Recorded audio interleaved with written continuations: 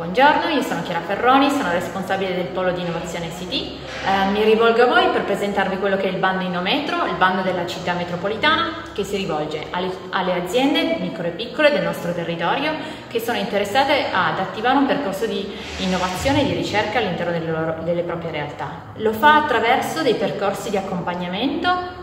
dedicati con degli esperti che sono eh, funzionali a supportare le imprese in tutte quelle che sono le fasi di strutturazione di un progetto, quindi dall'idea all'identificazione delle tecnologie necessarie piuttosto che i partner. Il bando vuole favorire la, il trasferimento tecnologico dei risultati della ricerca verso le imprese, quindi invitiamo tutte le imprese micro eh, del nostro territorio a partecipare a questo bando con, perché è un'ottima iniziativa per portare a termine le proprie attività di innovazione e di ricerca.